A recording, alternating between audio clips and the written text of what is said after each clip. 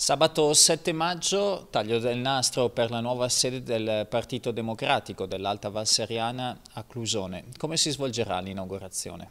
Sì, eh, sabato 7 maggio a partire dalle ore 16.30 avremo la possibilità di fare inizialmente quattro chiacchiere con gli onorevoli bergamaschi del Partito Democratico, quindi Antonio Misiani e Giovanni Sanga, con i consiglieri regionali Maurizio Martina e Mario Barboni e con il segretario provinciale del Partito Democratico Gabriele Riva. Eh, ci sposteremo da Piazza Paradiso verso la sede di Via Cli eh, per il taglio del nastro e un aperitivo offerto dal Partito Democratico Alta Valle Seriana. Eh, via Cli, che è mh, mm, una via che si trova sulla sinistra salendo da Via Mazzini verso Piazza Paradiso, a Clusone.